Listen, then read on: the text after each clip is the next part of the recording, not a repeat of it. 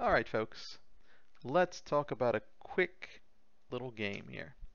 I'm going to show you that I happen to be psychic. Indeed, we're going to create a psychic guessing game. Now I've already created the project. You can go ahead and create it, date it, name it all you want. But what this is going to do is it's going to pick a random number, 0 to 9, and I'm going to guess whether that's correct or not. So, without further ado,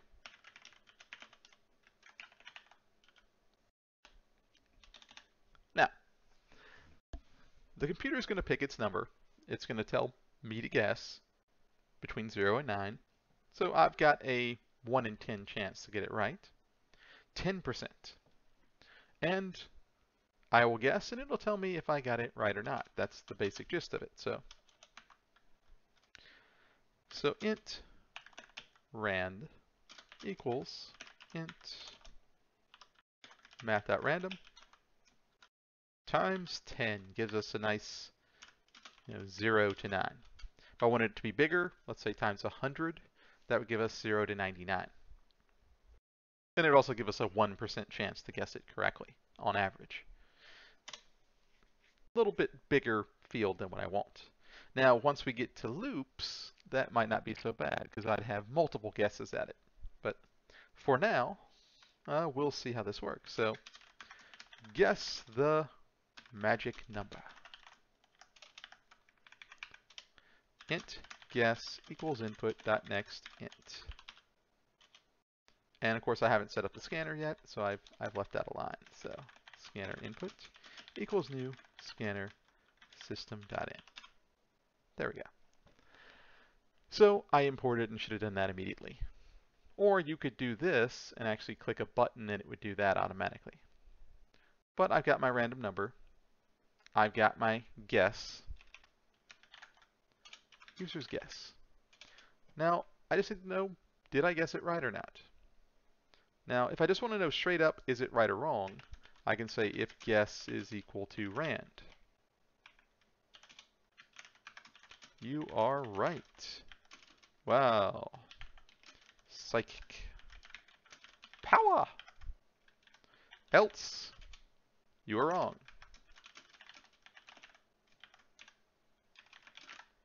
Simple, straightforward, right? I know if I'm right, I know if I'm wrong. Now I don't know how wrong I am, so maybe I should add in it was, eh, go back, plus rand. So that way I know how badly off I am. Let's find out how psychic I am. Guess the random, random number? I'm going to say 7. That's the first thing that popped in my head. It was 0. Okay, that's fine. You know, that's just seven more higher. I, you know, psychic power takes a little bit of time to attune, so uh, hit it again. Eight. Four. Okay, see, I was closer that time. I wasn't seven off, I was four off. So we're getting a little more tuned. Okay, I got you. Uh, two. Five. Look at that. I was three. That's three closer. So let's hit it again. Uh, six. There's eight. Look at that. I was two off this time. See, I'm progressively getting closer from seven to, you know, five and four and three. Uh, now it's two. Here we go. This is going to be it. I can feel it. One. Still two off. That's okay. I should just take whatever number I, am thinking of and think two higher. Uh, four. Well, I thought 2 and I thought 2 higher, but it was actually lower. So see, that would have been correct if I just went in the right direction. Uh, so, so you can see that I'm actually a little bit psychic there. Uh, let's go with 7. It was 1. Okay, now, now uh, I, don't, I don't know. I, I kind of coughed a little bit there. Surely, eventually, even statistically, I'm going to guess it right at some point, right? Now here's the problem. And the reason why, you know, you think there would be a 10% chance, right, to get this right. Then why am I not guessing it at least partially right at least 10% of the time? Boom. Well, here's the reason. Uh, well, it's 10% every time. And this is this is one of the things about probability people get mistaken. Uh, this is particularly funny with like uh, lotteries and stuff like that. Uh, you know, you have like a one in a million chance, you know, maybe to win the lottery, right? So people will buy three or four tickets and they're like, that gives me four times the chance to win. No, that gives you, you know, you you had one in a million, now you have four in four out of a million. That did not substantially raise your chances of winning.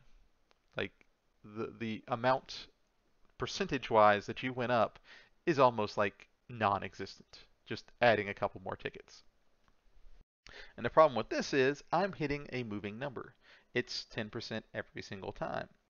Now, if I were to just come in here and just spam in 5, there's 1, 2, 3, 4, likes the zeros, 5, let's see here, 6, 7, 8, 9. It's still going to be random, but 10. If I do this enough times, eventually I will get it right. There we go. Took like 12 times instead of 10 or something like that, but uh, but it's never exactly 10. And this is another thing like with item drops in video games and stuff like that. You know, maybe it has like a 1% chance to drop. That does not necessarily mean you kill the thing 100 times, you will definitely get it. It just means that, you know, if that's a true percentage, that every time you fight it, there's a 1% chance. Which means you might fight it 300 times before you see it. You might fight it five times and get it twice. Uh, that's all RNG, uh, which sucks a lot. Now, if I wanted to make this a little bit better, I might want to say if I did it higher or lower. Uh, that's really for another project.